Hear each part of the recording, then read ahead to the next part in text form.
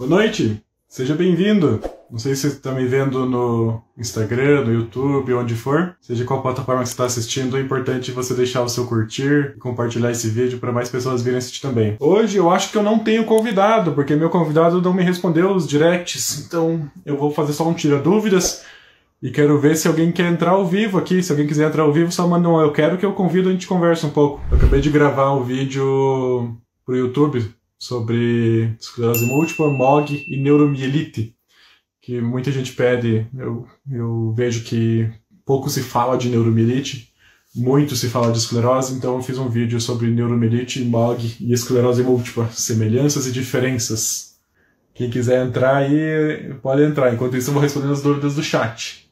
Ah, quem não viu, viram o Benjamin aqui? Onde que eu coloquei ele? Foi um presente de uma paciente. Uh, pintou em, em, pintou o Benjamin pra mim. E o Benjamin não tá aqui em casa hoje, ele tá com a minha mãe. No próximo live eu mostro ele. Por enquanto tem só esse aqui, ó. Há três meses com muita coceira, parece urticária. Pode ser pelo Tecfidera, já uso ele há oito meses, quatro meses com essa coceira, investigação há três meses.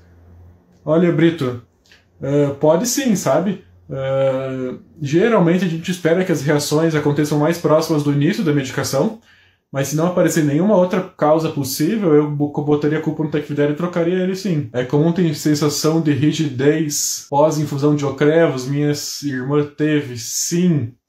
Pós-infusão de ocrevos, não especificamente a rigidez, mas pós-infusão de ocrevos, é muito comum ter um tipo pseudo-surto, uma pseudo-exacerbação do que tinha antes, então se já tinha algum grau de rigidez, pode ser que essa infusão de ocrevos pode ter desencadeado um, uma piora transitória da, dessa rigidez dela. Ando fraca em mexer com as coisas, principalmente quando cozinho, tenho que ficar mudando de mão. É sinal de fadiga ou normal da M? Olha, não é normal da M não, porque nem todo mundo tem isso. Eu acho que pode ser um pouco de fadiga sim. Talvez você precise exercitar um pouco mais os membros superiores ou usar as técnicas de conservação de energia. Tem algumas colheres elétricas, alguns mexedores elétricos que você pode economizar um pouco o seu tempo e sua energia, você não ficar mexendo com o mesmo movimento repetitivo. Qual outra medicação boa, parecida com o Tecfidera, sem muitos efeitos colaterais? Depois que iniciei o Tecfidera, não tive mais surtos. Olha, o Tecfidera ainda é uma medicação bem inicial, Brito, então quase todas as outras existentes vão ser mais ou menos do mesmo nível. Então, natalizumab, Kizimp, Tocrevos, Fingolimod, uh, Terifonomida, Elbage, Compaxone, são todas medicações possíveis para você. A gente tem que sentar e ver certinho qual o perfil de efeitos colaterais, qual o perfil de via que você prefere. Trocando minha medicação de Guatiramer para Natalizumab. Alguma reação da Natalizumab?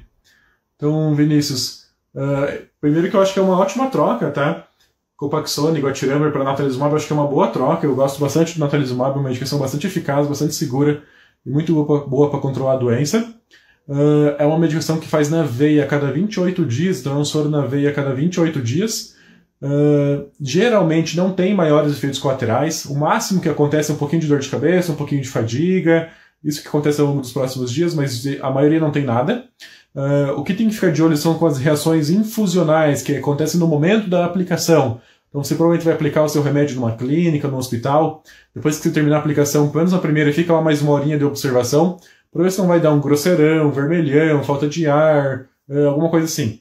Uh, basicamente só isso que tem que se preocupar. E lógico a questão do vírus, do JC vírus, que provavelmente o médico deve ter te explicado você deve ter coletado esse exame do vírus. Quero entrar ao vivo? De tudo 241, vamos chamar então. Depois eu chamo a Laís Rodrigues. Deixa eu chamar também, vamos quem Acho que a galera tá com vergonha, não vão querer aparecer. Tem um mês de diagnóstico, participando de uma pesquisa com fenibrutinib. Felipe. Então, Felipe, o fenibrutinib é uma medicação nova chamada inibidora de BTKI, que é tirosina quinase brut inhibitor, que é uma sigla para uma nova, um novo alvo. Então é um alvo totalmente diferente, assim. Então é um alvo que até agora não tinha sido explorado para esclerose múltipla, parece ser um alvo bem promissor. Então, fenebrutinib, evobrutinib, tolibrutinib, tem um monte de remédios que terminam com butinib.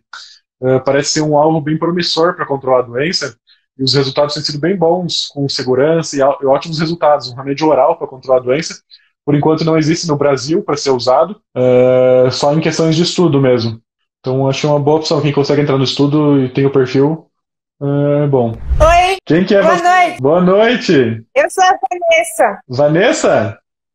Isso. E de onde você é? Eu sou de São Paulo, Jandira. Ah, e aí, tem esclerose múltipla ou não? Infelizmente, sim. É, me conte sua história, como é que é isso? Eu tenho a múltipla e eu comecei com, é, tendo convulsões. Aí eu eu morava sozinha até eu, eu mudei daqui, eu, eu fui pro interior, passei, passava mal, eu passo no meio da rua e, e só que eu não ia no hospital. Até que eu deixei de trabalhar por causa disso.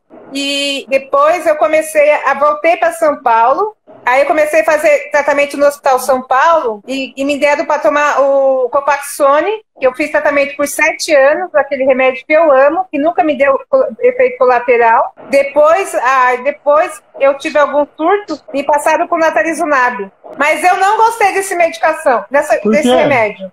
Por quê? Todo mundo gosta? Porque, porque é incrível como me dá infecção urinária. Por exemplo, eu, eu tive, eu tive, eu só tomei sete, eu só fiz sete infusões de natalizumab desde o final do ano passado. E essa última agora eu já atrasei porque novamente me deu uma infecção urinária. Aí o exame, é, os leucócitos que fala, eu acho que é leucócitos, subiram, estavam altos, de repente eles chegaram na taxa de zero depois oito. Até o médico falou assim: não entendi o que aconteceu, porque você estava alto a sua, a sua infecção e do nada baixou. O que, que, você usa hoje? Eu estou tomando atanazumab. Ainda? Só que é assim, como eu não tô, como não sabe por que me deu infecção, porque eu fiz uma urocultura para saber, então não me passaram remédio diferente. Só mandou tomar antibiótico e esperar. Entendi. Eu vou, fazer, eu vou fazer uma ultrassom dia 29 para saber o que se pode ser alguma coisa dos rins, né? É, eu acho e vias que antes urinárias. De, antes de culpar o natalizumab, tem que realmente fazer mais exames para ver se não é outro culpado. Porque às vezes a esclerose também deixa com infecção urinária de repetição. E o natalizumab não é tão comum por dar tanta infecção assim.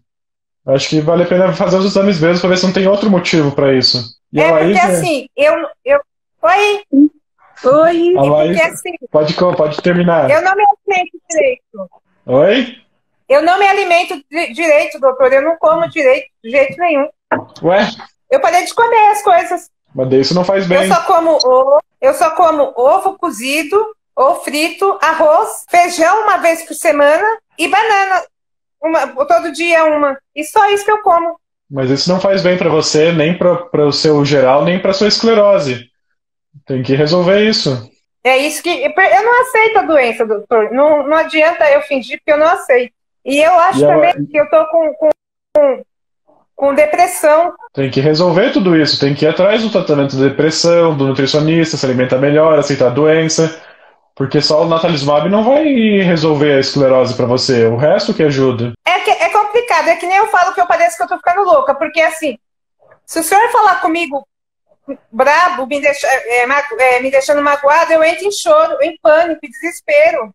E eu passo a maioria do tempo daqui, dentro do meu quarto deitada, porque quando eu ando, eu pareço um pândalo, para lá e para cá, para lá e para cá, para lá e para cá.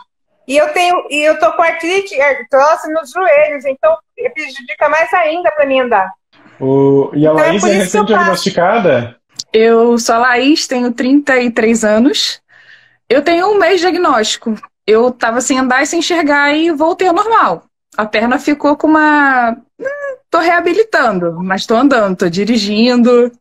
Eu tenho diabetes tipo 1 há 23 anos e tenho doença de Graves, então é minha terceira autoimune. Então eu, eu já tinha aprendido há muito tempo que quando a gente tem uma doença dessa grave, a gente não tem o direito de não aceitar. Se a gente quer ficar vivo, a gente tem que tratar para poder viver bem, sair de casa, poder aproveitar o melhor da vida, porque a vida é boa. Na diabetes eu uso a bomba de insulina, essa daqui, ó. Essa é quanto está minha glicose agora. Eu sou do Rio de Janeiro. Eu penso um pouco diferente.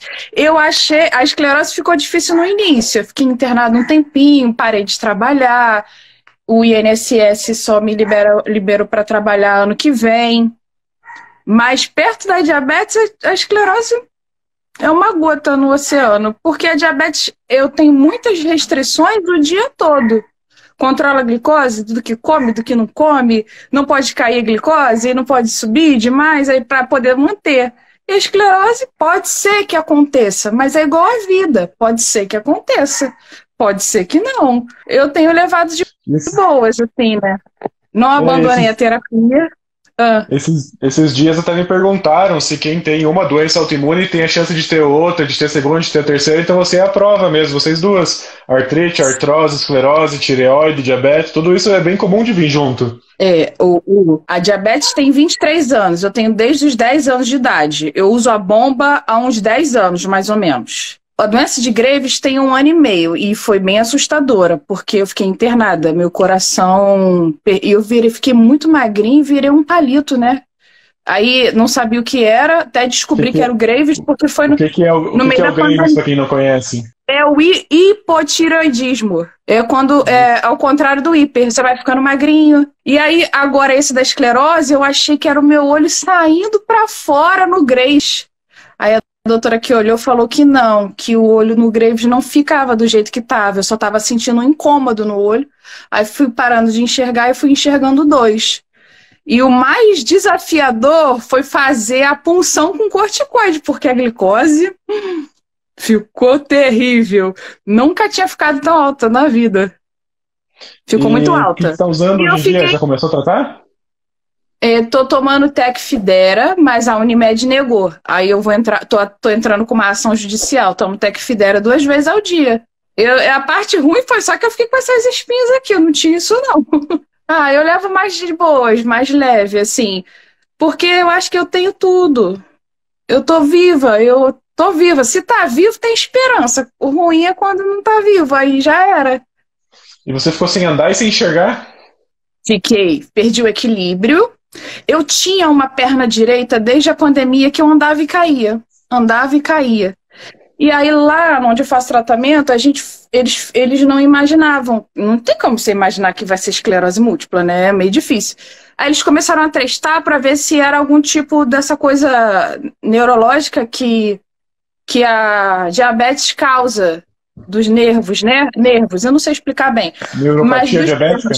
E aí viu que não, que eu tenho sensibilidade em todos os dedinhos. Depois fez exames para ver se era circulação. Também deu ok. E aí descartou que fosse diabetes. Achou que era fraqueza muscular causada pelo Graves. E aí fui tratando o Graves. O Graves eu estou tratando, ainda está um desafio. Tem vez que quase zera, tem vez que fica controlado. Tá controlado agora, mas em novembro não estava tinha perdido o controle. É muito difícil de. Sobe o remédio, desce o remédio, eles ficam minus. Eu faço exames todo mês. Não é igual a diabetes, que eu só vou a cada três, igual o neuro, que eu só faço a cada três também agora.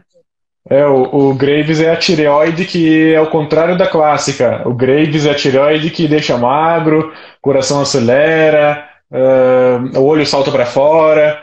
O tireoide normal, a pessoa engorda, fica mais lenta, ganha peso.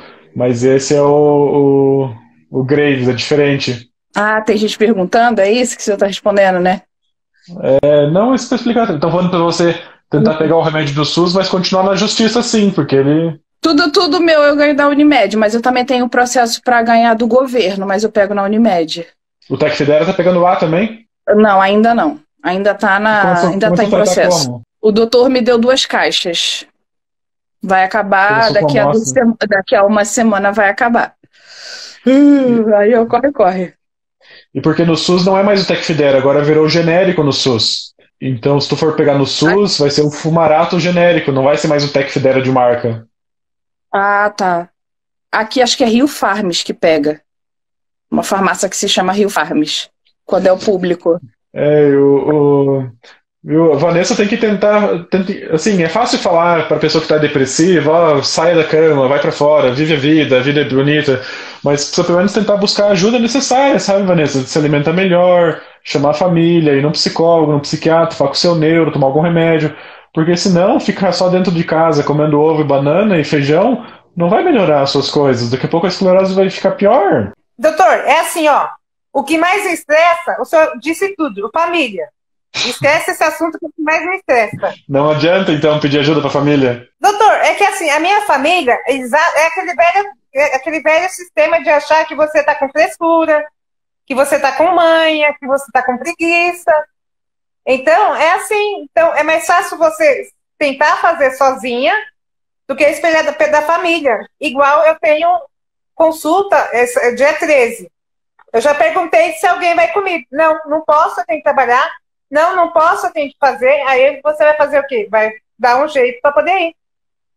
E nessa consulta, então, Igual. converse com o seu neuro sobre essa sua parte de depressão, sobre teus sintomas, para você tratar isso. Sobre os seus alimentos, pede um nutricionista, pede alguma coisa.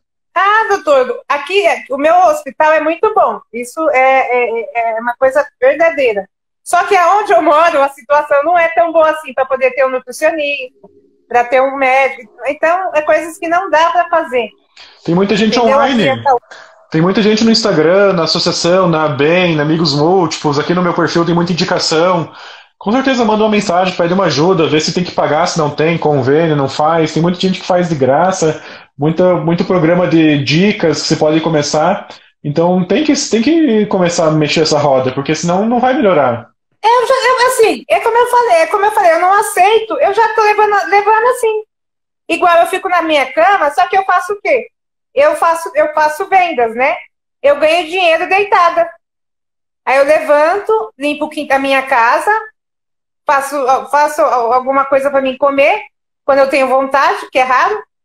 Eu cuido das minhas crias, porque eu amo cachorro, eu acho que isso é a melhor coisa que tem na Terra, que me anima, me dá ânimo. E assim, Cada dia que eu levanto, eu já aprendi assim, que eu não posso sair da cama e já pular para sair correndo, porque eu caio. E eu, eu... eu, eu... Pode é falar. Muito, é muito comum vocês terem esse tipo de preconceito mesmo, mas geralmente vem mais do, dos empregadores, dos trabalhos, da própria família, dos amigos, de estar tá com mãe, de estar tá cansado, estar tá com fadiga, e são sintomas invisíveis, né, que vocês sofrem demais com isso. Laís teve problema também? É, foi a parte que mais me assustou, eu. Primeiro que todo mundo só chorava. Eu, eu não entendia nada. Ninguém sabia o que era doença, ninguém conhecia e todo mundo só chorava. E depois comecei a ver que tem um preconceito. Aí eu, essas pessoas que me tratam diferente, eu deixo pra lá e fico com quem me trata normal. Porque eu não tenho uma doença contagiosa, e mesmo que tivesse, eu ia tentar melhorar para poder viver bem, né? É, tem sim, muita gente que acha que eu tenho que ficar trancada em casa. Tem gente que acha isso, garota, vai para casa. Eu escutei isso. Falei, não, eu não tenho que ir para casa. Se eu ficar em casa, eu vou ficar doente, vou ficar mal, porque ficar só em casa não dá. E aí eu fiz o que os médicos foram me, me orientando a fazer.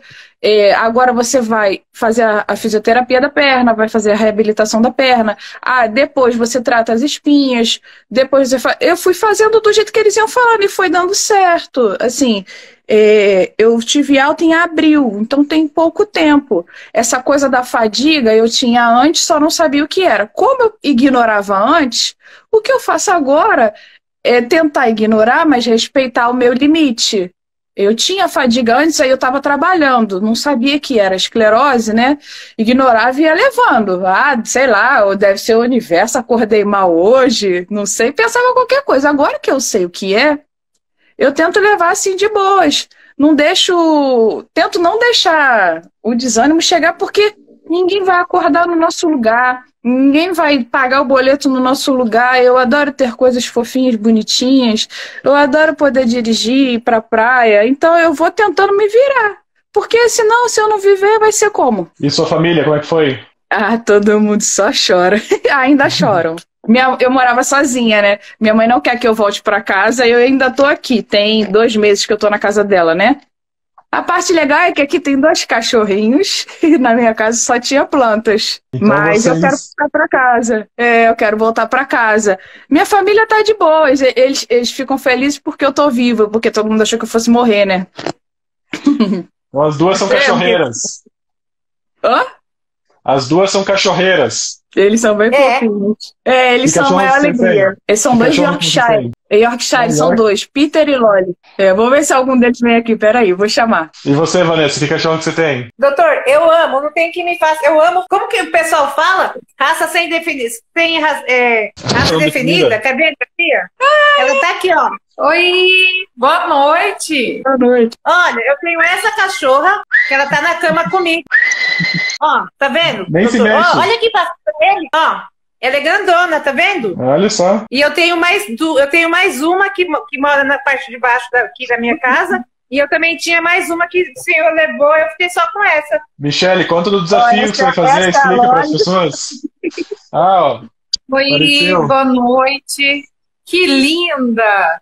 Em primeiro lugar, eu queria dizer para essas duas lindas mulheres que elas são maravilhosas, que eu tô aqui, tenho 12 anos de diagnóstico e estou bem, muito bem. Tenho diversas dificuldades todos os dias, todo momento, e tô aqui, sabe? E assim, a gente não pode desistir. É difícil? É difícil.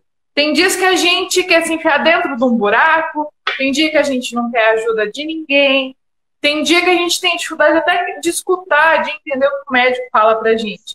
Mas às vezes a gente precisa parar e conversar com a gente mesmo e fazer as pazes conosco. Porque a esclerose não vem para nos destruir. Então, assim, é uma pedra no nosso caminho que a gente vai ter que pegar a bendita da pedra e vamos lá, né? A gente não pode desistir. E, em 12 anos de diagnóstico, eu já passei por muita coisa. Eu demorei 10 anos para descobrir esclerose. E hoje, assim, tenho uma vida normal. Recentemente criei o perfil, né, Voz em Foco. E, assim, estou conhecendo a cada dia pessoas que acabaram de descobrir, outras pessoas que já têm um tempo. E todo dia é uma história diferente. E assim, cada um de vocês tem me dado força para continuar. Então a gente não pode desistir. O desafio que a gente vai fazer amanhã é assim, é um desafio que eu fiz para mim mesma. É, eu sabia, até a, a Vanessa falou sobre alimentação. Hoje eu não tenho me alimentado muito bem. E eu fui conversar com a Nutri Isabel. Conversamos com ela, a gente fez live, né? E eu falei para ela, Nutri, eu preciso de ajuda porque eu não estou me alimentando bem. Eu preciso disso, eu preciso de um acompanhamento. E ela me lançou um desafio. E eu conversei com ela. Eu não quero que esse desafio seja só para mim. Eu quero compartilhar com vocês. Então a gente vai começar amanhã esse desafio que vai ser agora vão ser três dias, três desafios. Depois vão ser desafios é, semanais. Mas hoje eu tenho que entender que eu preciso mudar. É, eu tenho que cuidar da minha alimentação? Eu tenho, mesmo não querendo. Mesmo como a Vanessa dia, tem dia que eu quero comer aquilo que eu quero. Que eu não quero comer uma frutinha, que eu não quero comer verdura. Infelizmente, a gente acaba querendo comer o que a gente quer, pelo, pelo estado emocional que a gente está, né? Mas assim, o desafio vai ser lançado amanhã. Eu quero que vocês possam, né, acompanhar. E eu vou desafiar todo mundo. Vou estar tá postando bastante coisa para as pessoas porque, assim, eu quero que todo mundo possa participar. Então, assim, foi o que eu conversei com a Isabel. Não quero só um benefício para mim, mas também poder passar para as pessoas. Talvez algo muito simples, que seja você tomar água. É só isso. Você só tem que tomar água, mas é aprender a tomar água do jeito certo. Então, assim, acho que é necessário a gente aprender, né? A fazer. A gente está aqui todo dia. Ah lá, a Vanessa está com a garrafinha de água. Tem que tomar água. Eu também. Tem que, cadê, doutora, água? Ah, tá. Temos que tomar água. E é uma coisa tão simples. É, e a gente não faz, a gente não toma água certa. Então a gente vai aprender a fazer isso de maneira certa. Porque a gente, como se diz, a gente a está num século que a gente tem internet. O que a gente pesquisar está lá no Google. Mas por que, que a gente não faz? O que, que falta? Então foi isso que eu disse para ela. É o que? Motivação. O Mateus está aqui todo domingo à noite nos dando motivação, dizendo para gente: eu estou aqui com vocês, vocês não estão sozinhos, mesmo querendo estar sozinhos, mas eu estou aqui. Então, como se diz, o doutor está falando: ó, oh, a mão está aqui, você me dá a sua mão? Mas tem dias que a gente não, não tá afim, não quer. Mas todos os dias ele está ali, ajudando a gente. Então, como se diz, vamos lutar, não vamos desistir, não. Não pode. Força, juntos somos mais fortes. Eu sempre digo isso. E, e vamos ser fortes. Não podemos desistir. Doutor, antes que eu, eu tenho que eu tenho que parar, pensar para poder lembrar. Quando a gente, ó, a minha mão, eu tô vendo ela, eu mexo ela. Só que às vezes, eu, por mais que eu mexa, eu não, eu não vejo ela. Como assim? Não entendi. Ó, eu, me, eu tô, a minha mão tá mexendo. Vai chegar uma hora que, como eu, se eu sentisse, que só, só é um monte de fiozinho que está mexendo e não a minha mão. É, deve ser problema da sua visão. Será que é o óculos? Será que é da esclerose? O que, que é? Não, não, não é do óculos, não. Ó. É porque hoje, hoje, coincidentemente, não está acontecendo nada. Eu, eu fico com a mão assim. Eu tô vendo a minha mão. Só que quando eu mexo, eu não tenho a impressão que a minha mão está mexendo. Mas, Vanessa, é sensitivo, porque assim, eu tenho uma sequela da esclerose, da minha mão como um todo, eu não sinto principalmente a parte de dentro dos dedos. Que eu não sinto isso. Você sente isso? Eu, ó, porque eu sinto tudo normal. Por exemplo, eu faço isso aqui, ó. De tanto ir no médico fazer, eu fico fazendo isso aqui. Sim. Aí quando minha mão tá desse jeito, eu não consigo, os meus dedos não fazem normal. Eles endurecem? Pode ser fadiga, né, doutor? Pode, pode ser fadiga. Mas deve ter a ver com a esclerose, sim, isso. Às vezes não está enxergando bem pela esclerose, às vezes o dedo não está sentindo bem também. As coisas vão se juntando. Porque mesmo, hoje em dia, o, depois que minha, todas as juntas do meu corpo doem. É, isso pode ser mais culpa da artrite, da artrose do que da esclerose. Mas os meus dedos também doem.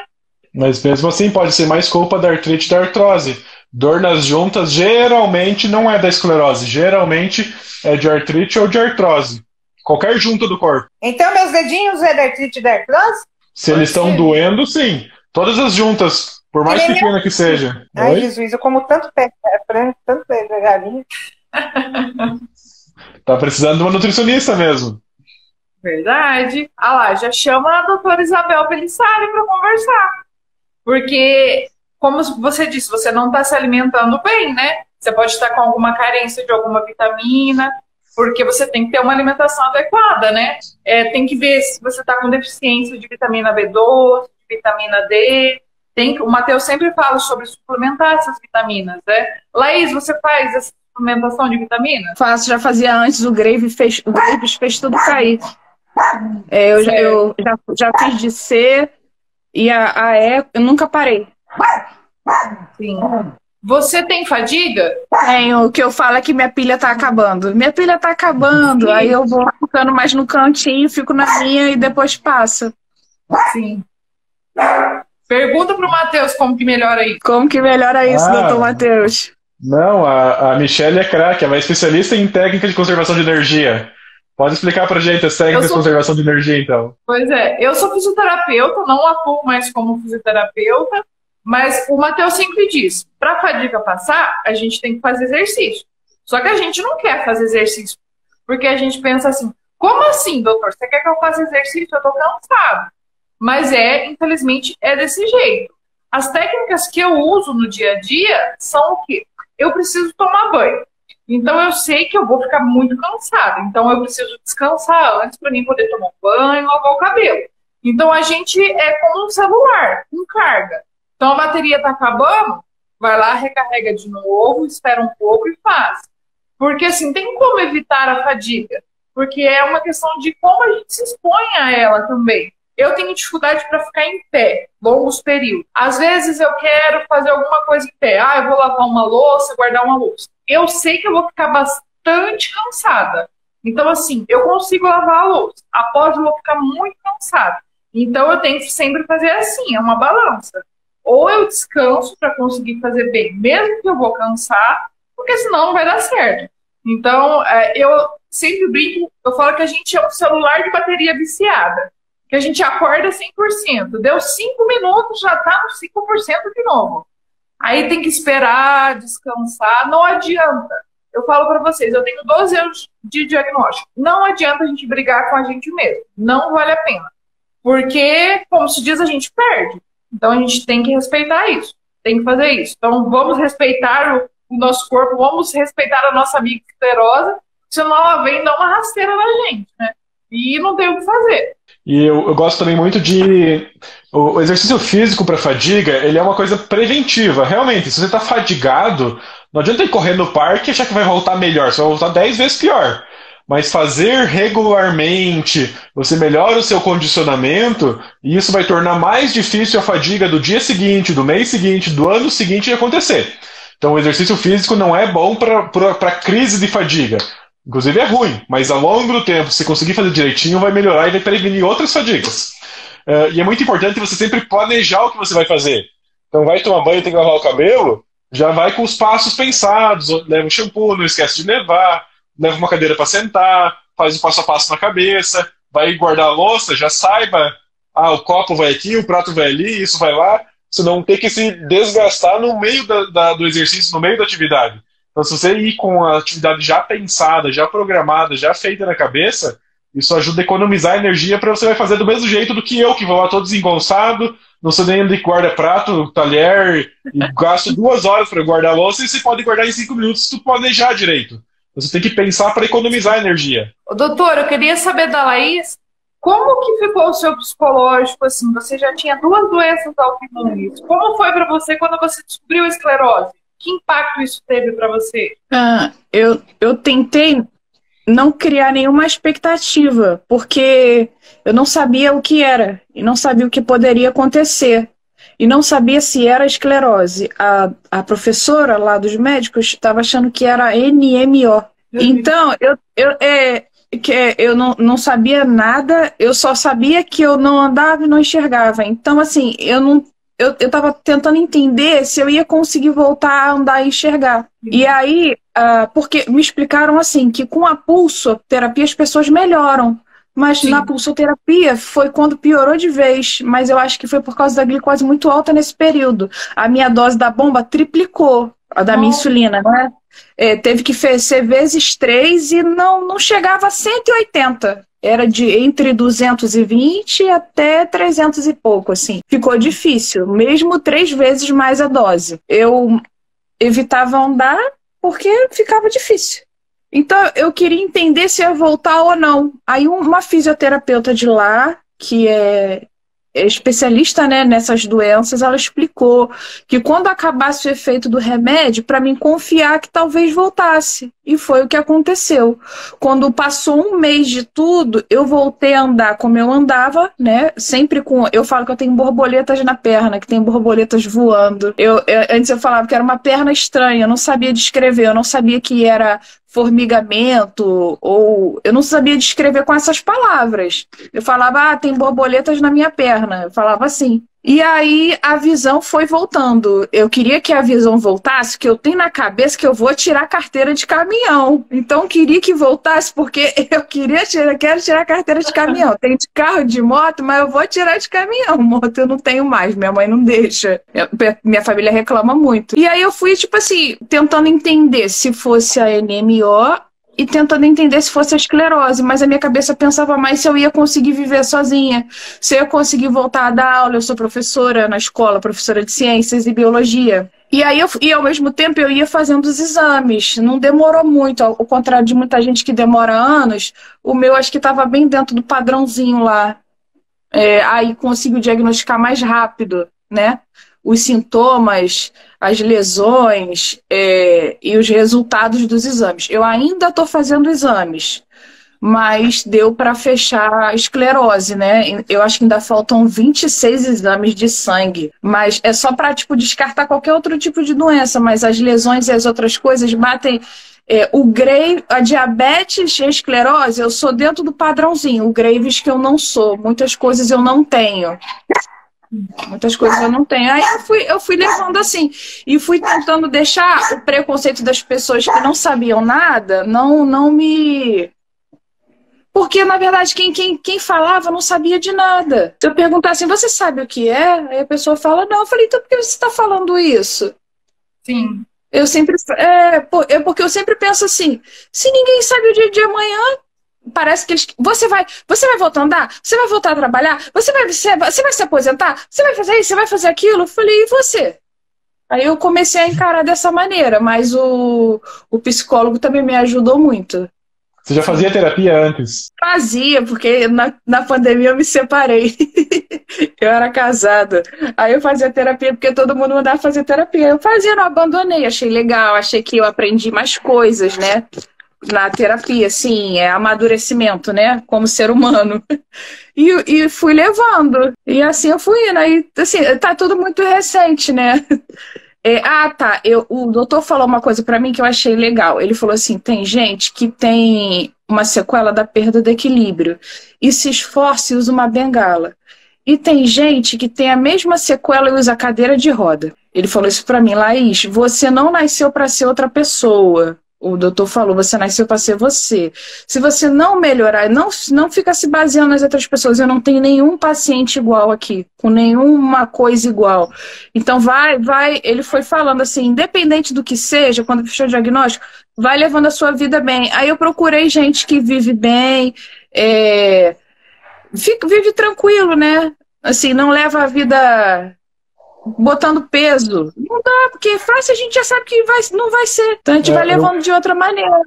Às vezes eu, eu, eu às vezes falo para os pacientes algumas coisas parecidas, assim, no, quando a gente está na fase de diagnóstico, assim, não sabemos o que, que tem. Então gente, o que eu falo para ó, o que a gente sabe que tem é que você está sem andar e está sem enxergar e tem manchas na sua cabeça. O nome, tanto faz que não. Ah, esclerose, neuromielite e tanto faz. O importante é você, a Laís, vai voltar a andar, vai voltar a enxergar, tanto faz o nome. Seja o que for, tem tratamento. Uh, e não tem como voltar e não ser mais nada. A melhor das hipóteses era que isso fosse um pesadelo e que te voltasse dois dias atrás e que não tivesse nada disso. Mas agora não tem. Não tem essa, essa hipótese. A hipótese é: você tem o que você tem, seja lá o que for, e vai continuar tendo. O único caminho é dar o melhor da gente, dar o melhor de você, dar o melhor dos médicos, pegar o melhor tratamento possível, pegar a melhor reabilitação possível. Esse é o único caminho. Porque a melhor das hipóteses, como eu falei, era não ter isso. Mas agora tem. E não tem como voltar atrás. Então, seja lá qual o nome é, uh, não tem como não ser nada, vai ser alguma coisa. E seja que qual o nome que a gente vai te dar, o tratamento vai ser muito parecido. É usar remédio, fazer reabilitação e manter os bons hábitos. Seja qual o nome vai ser. Então, se der alguns anticorpos, é o nome neuromelito, nome é MOG, se não der nada, às vezes é esclerose, e assim vai. Então, é mais ou menos por aí mesmo. Não importa muito qual é o nome, o que importa é você a pessoa que você é, com as sequelas que você vai ter ou que não tenha nada, o tratamento que você vai seguir é a reabilitação que você vai fazer. Então, realmente, o nome é o que menos importa, porque às vezes o nome vem com os preconceitos, vem com as comparações, e não é isso que precisa. O que precisa é você, não precisa nem ter nome. Eu tenho um problema aí, estou me recuperando, estou tratando, estou vivendo bem. Matheus, uma pergunta. É, como a Laís, ela está né, tá descobrindo essa terceira doença autoimune. Nós que temos esclerose, podemos ter outras doenças autoimunes? Sim, uh, da mesma forma que eu também posso, a qualquer momento, começar uma doença autoimune. Vocês que têm esclerose têm um risco mais aumentado do que eu para ter uma quarta. Laís tem um risco de ter uma quarta a qualquer momento, uma quinta, uma Sim. sexta, uma décima. Uh, então, quem tem uma doença autoimune, seja qual seja, qual for, tem um risco de ter a próxima aumentado. Sim. Eu tenho duas, a esclerose e mais uma que eu não estou lembrado do nome que é que causa as convulsões que a gente fica se batendo quando desmaia no será chão. É a esclerose temporal, será? Foi a primeira que eu, que eu descobri que eu tomo carbamazepina. E não tem o nome dela? Eu esqueci o nome da doença, doutor. Eu esqueço. Eu, tô, eu já estou tomando essa, eh, remédio para essa doença tem mais de 10 anos. Pode ser um pouco do esquecimento culpa do remédio, mas se você for que ganha dinheiro deitada vendendo, vamos vender uns produtos a mais e fazer um nutricionista online, fazer uma terapia online, tudo é possível.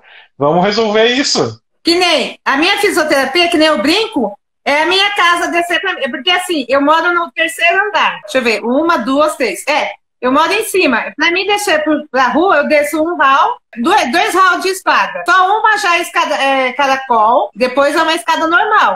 Para eu poder chegar na, na, na varanda de, da outra da, da, minha casa, eu ando uma, dar uma caminhada para ir, como a gente, eu ando mancando, mancando, sei lá como é que eu falo hoje em dia, porque é como fala um João Bobo andando, é engraçado até. Eu ando sem bengala dentro de casa, mas já chegou época de eu ter que andar com andador dentro de casa. E que produto que você vende? Ah, eu vendo Natura, Boticário, Avon, Demiro, eu vendo de tudo, doutor. Então, começa a vender para o pessoal da esclerose aí, tem muita gente engajada. Troca produto por terapia, troca produto por consulta uh, de nutricionista, por consulta de fisioterapia online, com consulta de psicólogo. Vamos melhorar. Ai, doutor, eu vou falar bem sincero, o que eu quero gastar dinheiro agora é uma coisa que muita gente não gosta, mas eu amo. É a única coisa que eu tenho da minha casa que eu converso com ele sozinho. A minha TV. Também é bom, também tem que ter o seu lazer, você também merece, mas não esquece o resto. Você tem, você tem que se cuidar para poder assistir TV por muitos mais anos daqui para frente. Só que se tu não fizer uma terapia, ou comer bem, ou fazer fisioterapia, às vezes exercitar, teu tempo de TV vai ser curto, você não vai ter muito tempo para assistir TV. Uh, a vida cobra. Se eu ficar em casa que não tenho doença, comendo mal, não fazendo uma atividade física regular, uma fisioterapia, um exercício orientado, terapia, qualquer coisa, todo mundo vai definhar numa cama. Vocês que têm uma doença têm muito mais motivo para se cuidar. É que assim, ó, que nem eu tô, eu falo, eu tô aqui falando com vocês, mas meu pezinho tá aqui mexendo para um lado pro outro, pro lado não, pro outro. Não, não Desde resolve. quando me deu essa. Não, Ah, não. porque assim, ó, o meu pé. Pode Vanessa, falar. a Ana Clara tá falando aqui pra ti, ó. Menina, sacode a poeira e dá a volta por cima. Mas é que nem assim, ó, o meu pé, eu nunca sei se tá queimando ou se tá frio. É que nem eu falo assim, que é uma dormência, sei lá que eu sinto no pé. No meu, teve um pé que ficou ele inteiro. No outro pé, pegou os três últimos dedos do, do lado direito. Aí eu começo a balançar os dedos, aí vai voltando ao normal. Igual, se eu tivesse feito uma pulsoterapia, quando começou a me dar isso, eu já tinha curado. Mas balançar o pé pro lado não serve como exercício físico, nem como terapia, nem como nada. Tem que pegar a roupa de ginástica e ir pra rua. Ou fazer alongamento orientado no vídeo, alguma coisa assim. O pezinho não serve. Nem pra mim não serviria. É assim, eu ia. Ô, Vanessa, já que você vende Oi. assim, você trabalha com a beleza da mulher, por que, que você não visita as mulheres? Por que, que você não pode tentar, talvez, fazer isso e contar a sua história? Isso é um exemplo. Doutora, você sabe que onde eu moro parece uma montanha russa. Ah, é? É, é, é ladeira para tudo que é lado. É, é, é, é, é, é, é asfaltada. Só que é, é, é, é morro para tudo que é lado. A rua da minha casa faz assim, ó. Aí desce, depois você sobe, depois você desce. Daí é. Então, para andar, é Porque pior andar- ainda. Andar na linha reta não tem graça, tem que andar na rua, desviar de cachorro, desviar de carro, desviar do carteiro, desviar da raiz da árvore, subir morrinho, descer morrinho, subir ladeira. Daí que tem graça, porque andar na linha reta não tem graça. Daí não tem dificuldade. Essa caminhada na rua é que faz bem. Eu até faço, doutor, essas coisas. Hoje, por exemplo, eu tive que ir, ir- ir receber um valor. Eu fui andando, só que para voltar, a moça teve que me trazer por causa do meu joelho, eu não estava conseguindo andar. Aí ela me trouxe, aí eu vim para minha casa, deitei aqui um pouco, descansei, aí desci de novo para receber de outro rapaz. Depois eu subo de novo.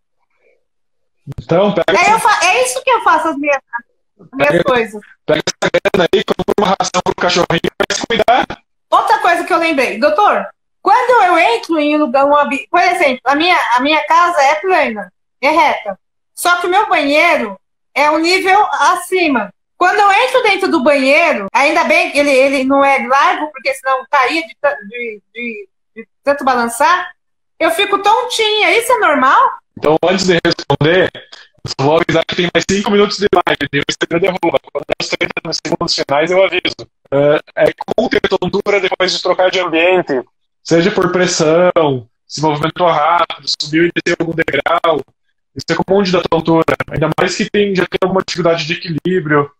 Não sei se se o banheiro é adaptado, talvez o Michel possa falar melhor, mas é importante ter o banheiro adaptado, assim, barra as paredes, é, cuidar para não resvalar, degrau ou rampa, tapete, tudo isso é importante, porque se cair, é 10 passos para trás. É um, você dá um passo para frente na terapia e dá 10 para trás quando você cai.